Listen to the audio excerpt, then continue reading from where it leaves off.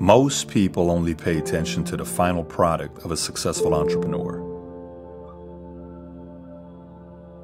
They say things like, I can never be like them, or they got lucky.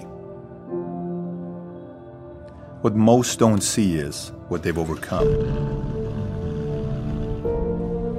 All the struggles, the daily rejections, the heartaches, the betrayals, the rumors, the criticism, the empty bank account, and all those lonely nights while trying to make their vision a reality.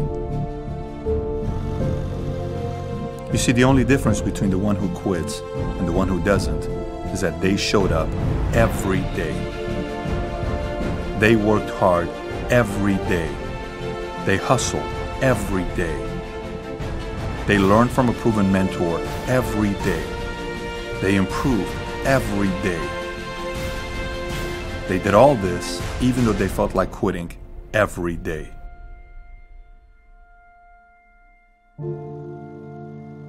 And eventually, they became who they are today.